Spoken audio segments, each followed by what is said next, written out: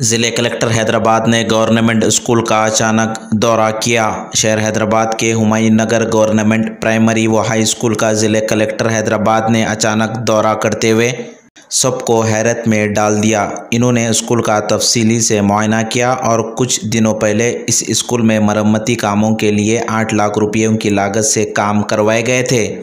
ان کاموں کا بھی جائزہ لیا۔ اور اسکول کے پرنسپل کو بھی سختی سے ہدایت دی کہ بچوں کی حاضری کو یقینی بنائیں اور جو بچے غیر حاضر ہیں، ان کے والدین کو طلب کرتے ہوئے تفصیلات حاصل کریں۔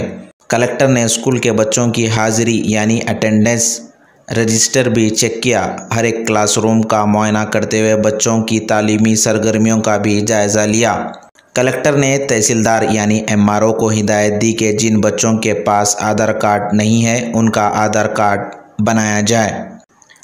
اسکول میں صاف صفائی اور پرسکون ماحول بنانے کی پرنسپل کو ہدایت دی۔ کلکٹر کے اس اچانک دورے سے ضلع حیدرآباد میں عوام میں خوشی کی لہر دوڑ گئی۔